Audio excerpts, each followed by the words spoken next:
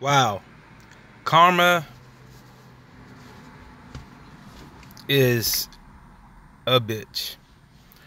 Suge Knight pleads no contest to manslaughter and was served 28 years in prison. Now, we all know Suge Knight and we all know his history. If you don't know about Suge Knight and Death Row, look it up. Google it, YouTube it. This man ran the music industry uh, throughout the mid 90s to the late 90s and made a lot of money and did a lot of dirt to a lot of people. Uh, we all remember him hanging Vanilla Ice over the balcony for his life, uh, his threatening to kill him, and just a lot of beat downs happened to Death Row. And this man had his hands in a lot of depths, like um, Tupac, Biggie. He was surrounded around those killings. But this is what happened to him today. Uh, former rap mogul Suge Knight pleaded no contest Thursday to voluntary manslaughter for running over and killing a Compton businessman nearly four years ago and agreed to serve nearly 30 years in prison. The Death Row Records co-founder entered the plea in Los Angeles Superior Court and has agreed to serve 28 years in prison. The plea came days before jury selection was scheduled to begin in a long delayed case.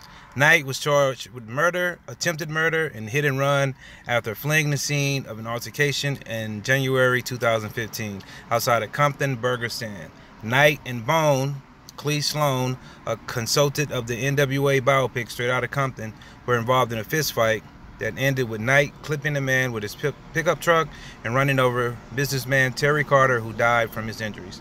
Knight's attorneys have said he was acting in self-defense and was fleeing armed attackers when he ran over Carter and Sloan.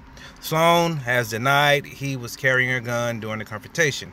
During Thursday's hearing, Knight answered Judge Ronald Coen's questions loudly and quick, quickly saying no contest. When the judge asked for his plea, he would be formally sentenced on October 4th. The plea deal calls for Knight to serve 22 years in prison on the voluntary manslaughter count and another six years because it is his third strike.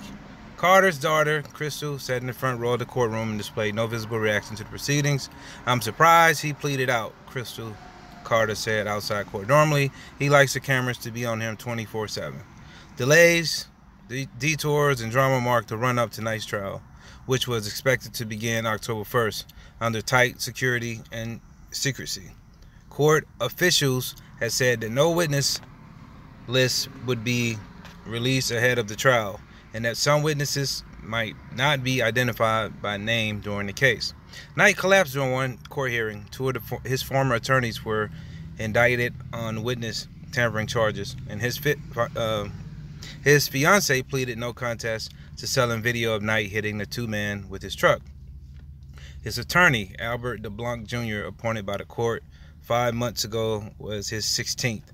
And Knight tried to fire him and yet get another law lawyer just a day before the deal was reached. DeBlanc declined comment Thursday. While awaiting trial, Knight was also accused of threatening Straight Outta Compton director F. Gary Gray. Knight would frequently against the advice of Coen and his attorneys speak extensively during hearings, complaining about jail conditions, his attorneys, and his health issues. While Coen read legal language about the plea and told Knight he was subject to deportation if he was not a citizen. Knight said ICE is coming to get me to a smattering of labs. The 53 the 53 year old was a key player in the gangster rap scene during a flourish in the 1990s, and his label once listed Dr. Dre, Tupac Shakur, and Snoop Dogg among among its artists. Knight lost control of the company after it was forced into bankruptcy. He has prior felony convictions for armed robbery and assault with a gun. He pleaded no contest in 95 and was sentenced 1995 that is and was sentenced to five years probation for assaulting two rap entertainers at a hollywood recording studio in 1992 he was sentenced in february 1997 to prison for violating terms of that probation by taking part in a fight at a las vegas hotel hours before shakur was fatally wounded in a drive-by attack as he rode in knight's car just east of the las vegas strip Shakur's slaying remains unsolved. He had faced life in prison if convicted of murder for killing Carter. This is just a good example. I said this about, uh, just to give you a good comparison, about the movie Scarface, my favorite movie of all time. Even the biggest, the baddest of them all, in the end, they always lose. Suge Knight was the the the meanest villain I ever seen in the music business. Uh, and look at this man suffer. He's 53 is not old. You know, it, you're not legally a senior citizen, but he he have he's done like his the prime of his life in behind bars, and seems like he would spend the rest of his life behind bars. Hey, like this video, leave your comments, subscribe.